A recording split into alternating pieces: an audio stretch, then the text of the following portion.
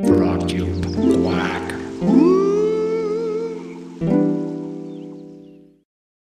Hallo, mein Name ist Jürgen Fischer und ich liebe es mit jungen Christen in der Bibel zu studieren und ihnen die Bibel zu erklären.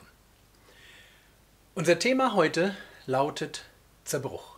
Quack. Wo sind wir? Wir stecken mitten in einem, nein, nicht mitten, wir stecken ganz am Anfang eines Jüngerschaftskurses mit dem Namen Vollgas.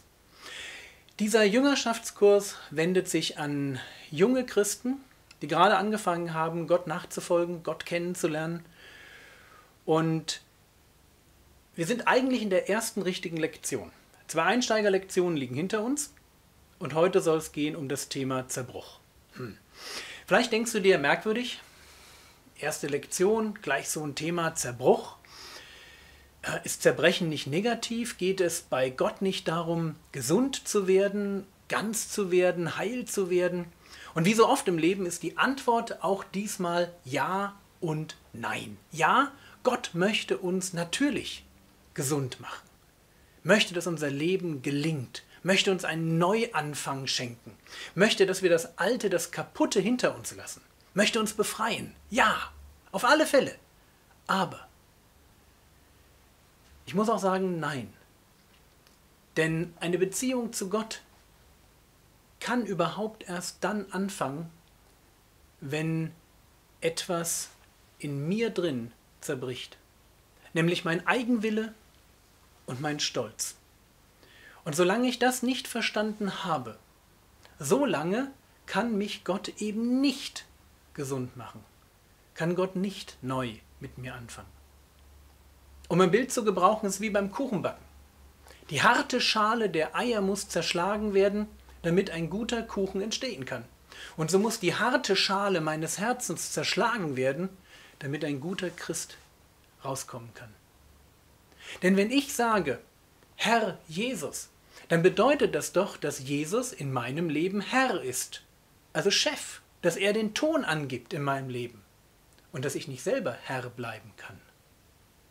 Bei der Bekehrung, also wenn ich Christ werde, wende ich mich weg von meinem alten Leben, weg von dem Leben, wo ich auf dem Thron meines Lebens gesessen habe, wo ich den Ton angegeben habe, wo ich entschieden habe, wo es lang geht. Und ich wende mich hin zu einem Leben, bei dem Jesus als der König meines Herzens auf dem Thron sitzt, mir sagt, wo es lang geht, den Ton angibt und wo er zu dem wird, von dem ich lerne, wie man richtig lebt. Gott kann mit selbstgerechten und hochmütigen Menschen überhaupt nichts anfangen. Ich lese dir dazu jetzt mal eine Geschichte vor, ein Gleichnis aus Lukas Kapitel 18. Lukas Kapitel 18 ab Vers 9.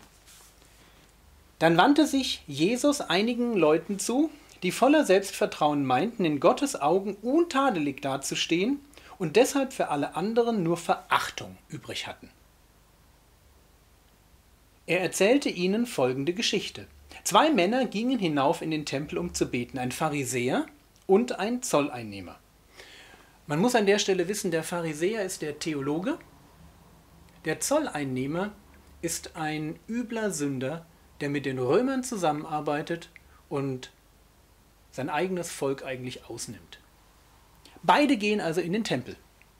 Der Pharisäer stellte sich vorne hin und betete bei sich, Gott, ich danke dir, dass ich nicht so bin wie die anderen Menschen. Alle diese Räuber, Betrüger und Ehebrecher. Oder auch wie dieser Zolleinnehmer hier.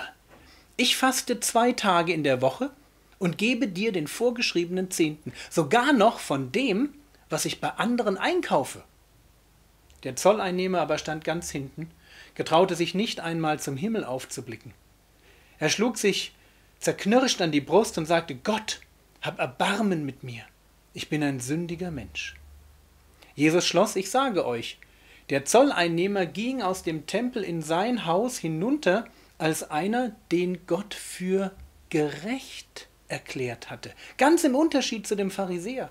Denn alle, die sich selbst groß machen, werden von Gott gedemütigt. Und alle, die sich selbst gering achten, werden von ihm zu Ehren gebracht. Bis dahin.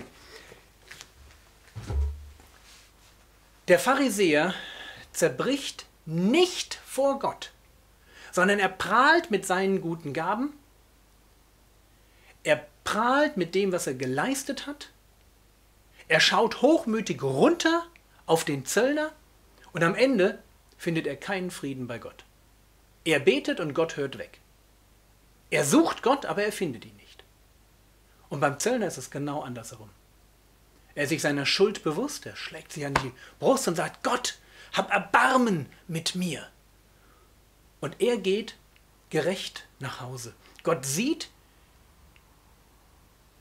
ehrlich diese Zerbrochenheit in seinem Herzen, diesen Wunsch, ins Reine zu kommen mit Gott, Sünde loszuwerden.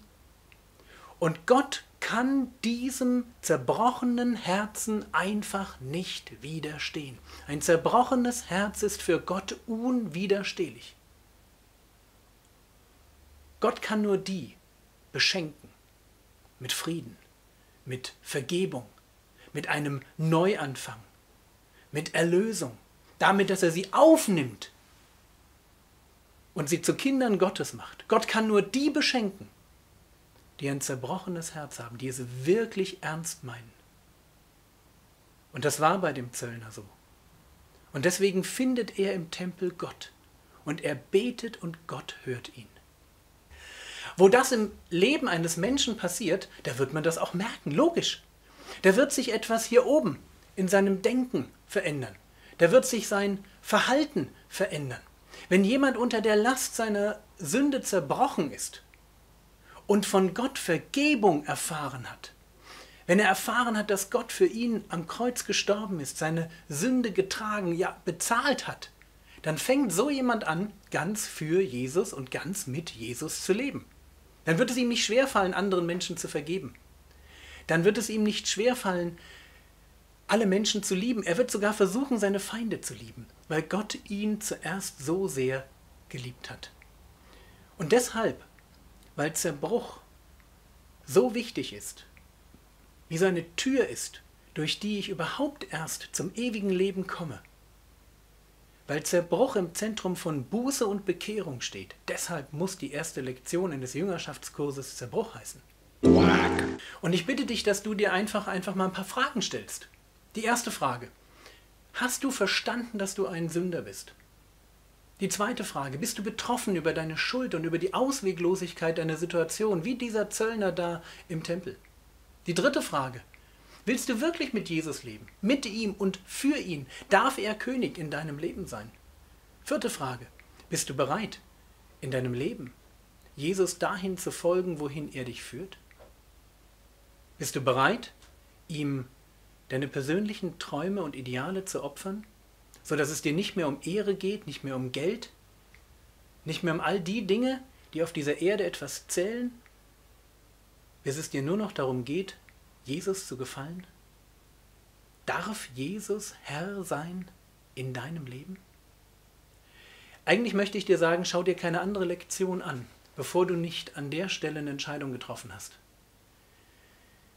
Es ist keine Schande, zu zögern. Die Entscheidung, vor Gott zu zerbrechen und ihm nachzufolgen, ist die vielleicht radikalste Entscheidung, die du jemals in deinem Leben treffen wirst. Und du solltest sie nicht treffen, weil andere dich drängen oder zwingen oder um anderen eine Freude zu machen oder um in der Gemeinde irgendwo dabei zu sein, dazuzugehören. Das wären alles schlechte Motive. Errettung ist kein Spiel. Gott schaut dir sowieso ins Herz. Nimm dir Zeit. Und vielleicht lohnt es sich, geh einmal bitte auf diese Internetseite hier. Da findest du die Lektion 1 Zerbruch vom Jüngerschaftskurs noch einmal in schriftlicher Form zum Nacharbeiten. Nimm dir die Zeit, die Lektion durchzulesen, die Fragen zu beantworten. Und ganz am Ende findest du ein Gebet. Und wenn du sagst, ja, ich möchte das festmachen mit Jesus, ich möchte unbedingt mit ihm leben, dann bete dieses Gebet und mach es fest. Und wenn du Christ schon bist, dann geh direkt dahin, bete das Gebet auch. Denn wir müssen immer wieder, eigentlich fast jeden Tag, Gott unser Leben neu übergeben. Nicht im Sinne einer echten Bekehrung, sondern im Sinne einer neuen Hinwendung zu diesem Jesus als König. Einfach weil wir selber immer in der Gefahr stehen, jeden Tag neu uns selber auf den Thron unseres Lebens zu setzen.